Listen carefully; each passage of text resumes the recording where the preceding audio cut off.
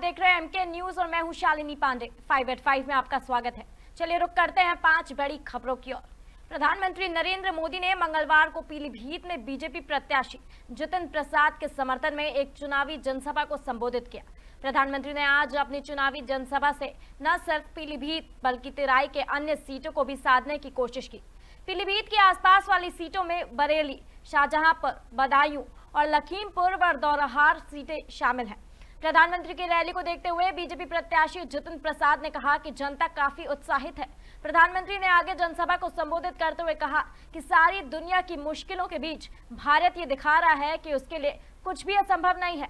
भारत जब दुनिया की सबसे तेज़ी से बढ़ती आर्थिक ताकत बना तो आपको गर्व हुआ।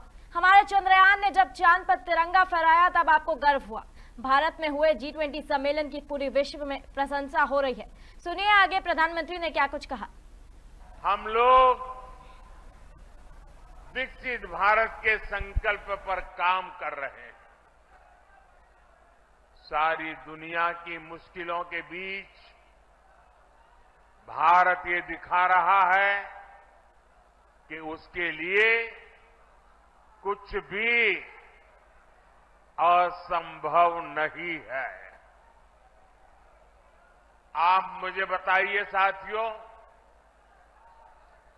भारत जब दुनिया की सबसे तेज़ी से बढ़ती आर्थिक ताकत बना तो आपको गर्व हुआ कि नहीं हुआ?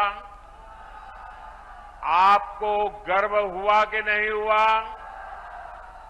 हमारे चंद्रयान ने जब चाँद पर तिरंगा फहराया तो आपको गर्व हुआ कि नहीं हुआ?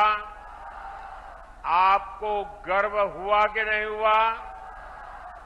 भारत में हुए भव्य जी ट्वेंटी सम्मेलन की पूरी दुनिया में वाहवाही हुई, प्रशंसा हुई।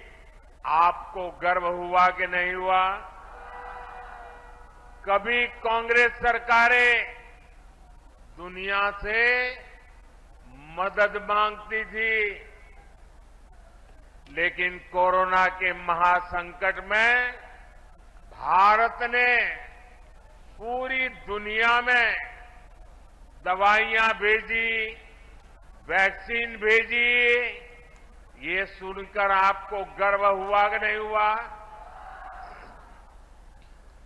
दुनिया में कहीं भी युद्ध का संकट आया, हम एक एक भारतीय को सुरक्षित वापस लाए।